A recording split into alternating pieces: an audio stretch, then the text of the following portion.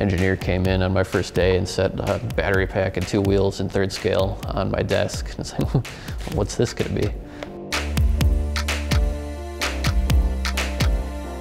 My name is Ben McGinley and I'm the manager of styling and design focused on electric vehicles at Harley-Davidson Motor Company. Did a bunch of model kits as a kid. I'd usually kind of do them wrong though and like usually at some point I'd kind of get bored with the instructions partway through and sort of do it my own way.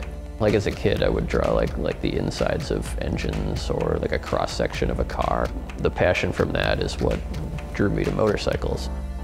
I ended up going to school at Milwaukee Institute of Art and Design. I was able to meet the people at the Harley-Davidson Design Studio, and that's how I ended up here. I've got a bunch of bikes, mostly old stuff. I got four bikes that run right now. Uh, I really need a bigger garage. I think that, that experience, like working on old stuff and being a little bit mechanical, really does help feed the work. Clay is one of my favorite parts of our process, where you really get to like feel and interact with the surfaces with your own hands, and I think it brings another dimension to the to the product that wouldn't have if we went like straight to digital to production.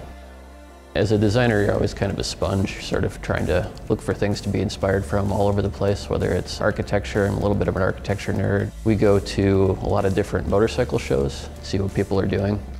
Part of what's really challenging and really rewarding about designing motorcycles is when you have to take a lot of these kind of blue sky ideas and then start working with an engineering team and start coming up with something that's producible and it's going to perform where it all comes together is part of what makes it so interesting. That's why it's so exciting to do motorcycles for me.